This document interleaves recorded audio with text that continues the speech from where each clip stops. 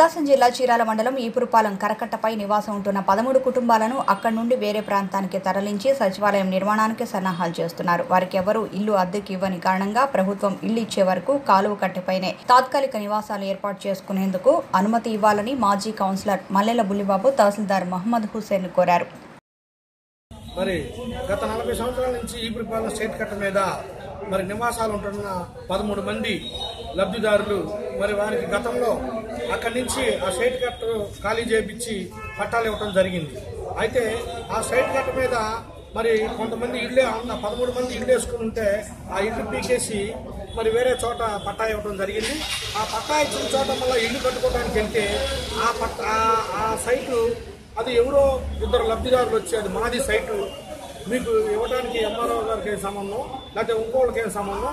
ఆ సైట్ మాదని మరి ఇద్దరు ఆ సైట్ మీద ఉండి ఇద్దరు దాన్ని రానియకుండా చేస్తూ ఉన్నారు మమ్మల్ని.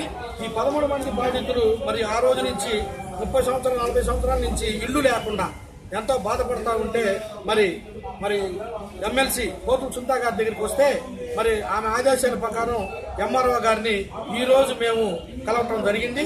ఈ పదమూడు మందికి న్యాయం చేయాలని ఎమ్మెల్సీ కోతుల సుంతా గారు ఒక ఆధ్వర్యంలో మరి ఇక్కడ ఈ రోజు ఎంఆర్ఓ గారికి అర్జీ ఇవ్వడం జరిగింది.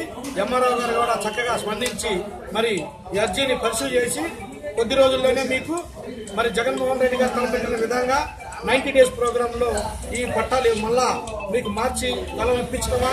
లేదా మరి చోట మరి మీకు ఏర్పాటు చేయడం అనే దానికి మరి ఎంఆర్ఓ గారు చక్కగా స్పందించారు. మేము ఎంతో సంతోషపడుతున్నాము.